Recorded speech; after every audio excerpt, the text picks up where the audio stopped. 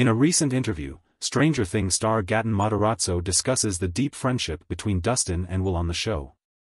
He reflects on their evolving bond over the seasons, highlighting moments of growth and challenges they've faced together.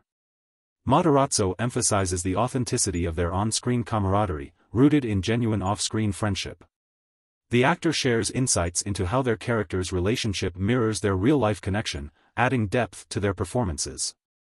Fans can expect more heartfelt moments and adventures for Dustin and Will in the upcoming season, promising to explore new dimensions of their friendship amidst supernatural challenges.